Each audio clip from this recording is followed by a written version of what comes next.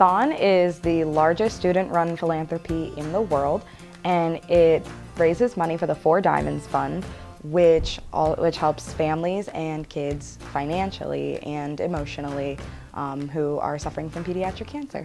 When I was an undergraduate, freshman actually, my dormitory, which was Irvin Hall, decided to enter someone in the dance marathon, which was very new at that time. No one wanted to do it.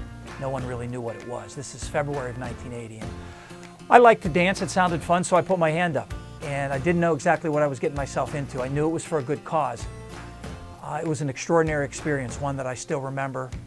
My only regret is that I didn't save the t-shirt, but I have pictures.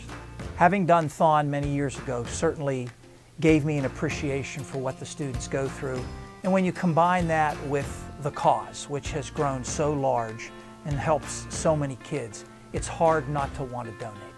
The College of Earth and Mineral Sciences organization benefiting Thon is one of the largest earning general orgs a part of Thon. We have four families. The Brewers, the Woods, the Hollingers, and the Schmidts are the reason why we Thon. They give us inspiration and we learn from them, from them every time we're around them. They really get to know these families. They really, they care about these families. And, you know, as you hear a lot about younger generations not caring about anything but themselves. And I think Thon is an example that is completely counter to that narrative, where these students have passion for what they're doing, and it's, it's truly admirable. If you step inside the Jordan Center just for one minute during Thon weekend, you'll understand fully why it's worth donating.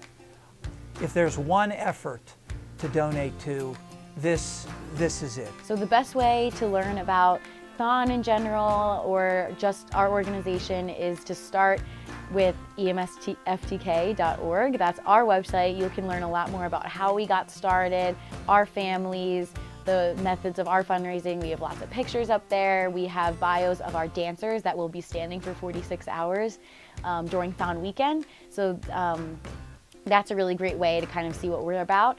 Um, we also have a link there to donate to our organization specifically. We love seeing donations from our alumni, even if we don't know who you are specifically. We really feel a connection to you guys. We appreciate all that you do. Thanks so much for donating and supporting us.